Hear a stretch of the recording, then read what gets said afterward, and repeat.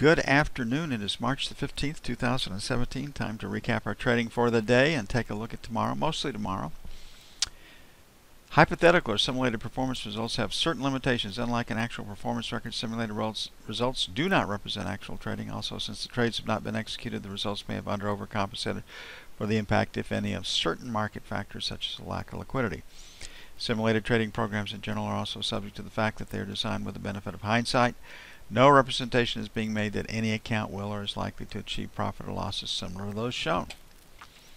That is a mouthful and not entirely accurate about us. Uh, we don't do anything um, after the fact or designed to optimize results. Um, it's raw. It's just right in front of you and most of the times it works, but sometimes it doesn't. Okay, we came in today on a rumor fact trading situation. Uh, we felt uh, that on the E-mini it would rally into the announcement and would rally after the announcement and we had our, that information in our hands at 7 a.m. Central this morning and that's what it turned out to be. Putting all these distributions together we've got a move out of the middle that favors a retest of 93 to 04. So this particular um, take on the market off the F1 screen says retest of today's highs and or higher prices tomorrow. Looking at the F2 screen and uh, we'll just do a B split then we'll do a K split. Uh, D pattern looking for a move out of the middle. Uh, we got it. Uh, the um, market played to our script. Uh, we thought it would trade higher before and after the FOMC announcement and it did and uh, we're just playing tendencies and the tendencies that uh, statistical tendency has been in effect since March of 2009 so right now if the market were to close right here at 84.85 we'd be selling failure to take out 85 to 87 then 89 to 91 On the buy side, we'd be buying 79 to 81 to see if we could push it, help it higher, maybe highs 82. Well, it depends on where we close. So that would be buy 1. And buy 2 would be 75, 77. So we like 75 to 80 as support. And really 2400 is resistance. We do have news tomorrow. Uh, starts plus 1.27 mil. Permits plus 1.27 million.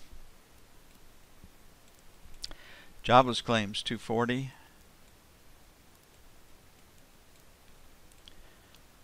Philly Fed 30. That's a pretty big number for Philly Fed. Jolts plus 5.05. That number has been coming down.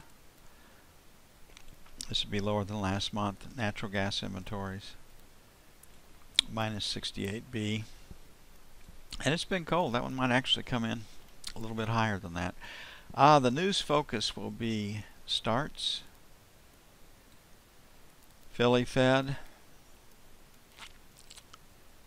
and technical buying. Trend day today, up based on news. We'll get follow through buying tomorrow. Most likely we will have a pause day.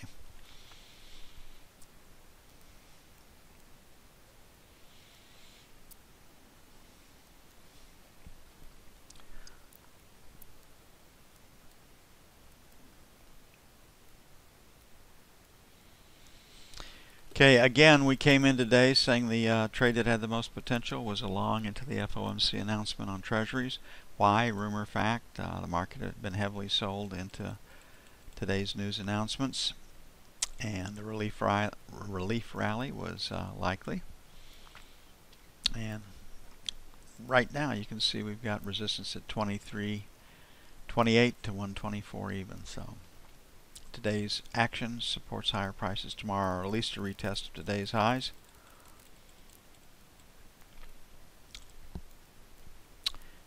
And um, double distribution up um, perhaps rejecting prices above 24 so selling 24 to 28 so 1 31 to 03 in anticipation of a pause day tomorrow.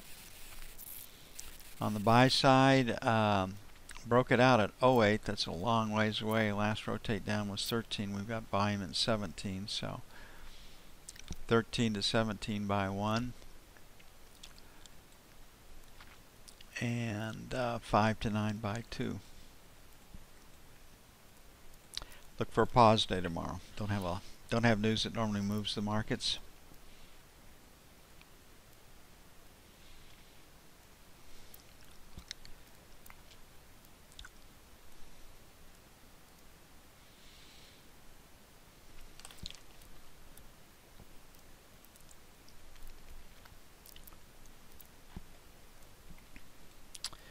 Wonder what kind of frightening story we'll wake up to tomorrow about all the uh, terrible stuff that Donald Trump is going to do. I mean, it's our regular news fare these days.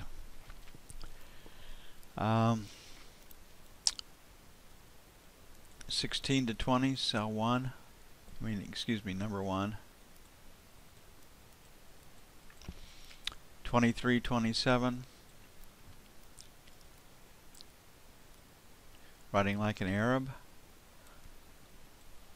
And then uh, 31 to 03 pause day after a trend day. Uh, first little band of support um, would be 4 to 8 that's a little close so I'll make it the buck to 04 by 25 29 and then 13 to 17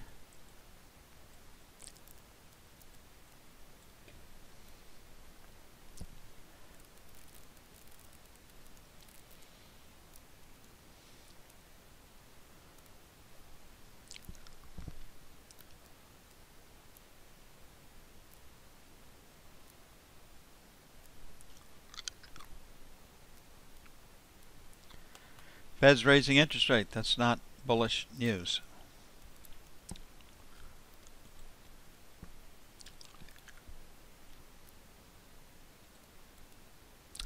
Okay, uh, outside day, that usually means trading range uh, in gold. Strong day up. Again, similar situation, rumor fact. Been heavily sold into the numbers. Again, raising interest rates is not bullish news for gold. Sell 18 to 20. 24, 26. Sell 2. On the buy side, we're going to buy 10 to 12. Then 5 to 7. If someone put a gun to my head, I'd be short gold.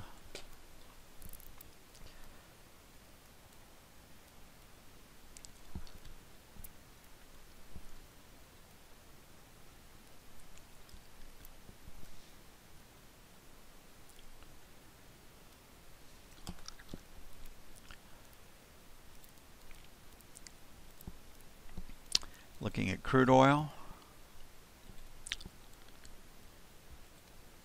Mm, higher low, higher high. I think we're going to have trouble at 49. Just the fundamentals aren't good. Too many articles coming out about more supply than demand. Economic growth around the world would change that. Well, F1 says we can find a place to buy it.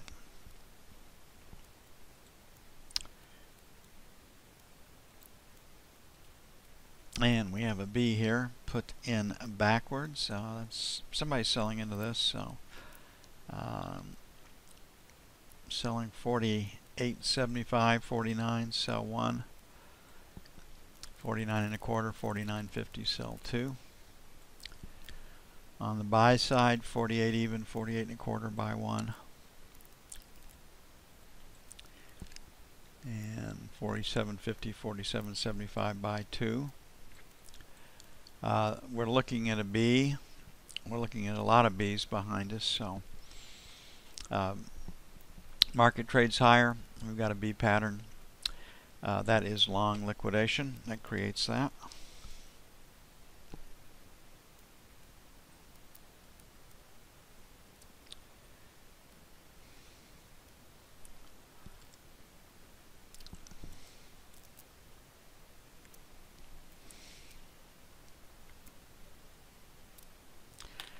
And the euro. Why would the euro rally? Why would the dollar be sold today? And why would the euro go up? And again, it's rumor fact. Um, markets have been sold. It's not bullish news for the euro by any stretch of the imagination. So I think we are going to find sellers. We do have a higher low, higher high. F1 says buy it. F2 will say the same thing.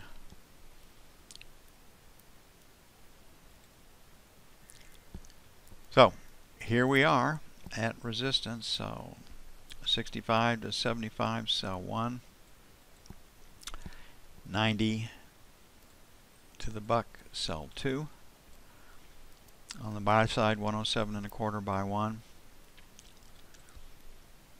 And buy 2, 107 even.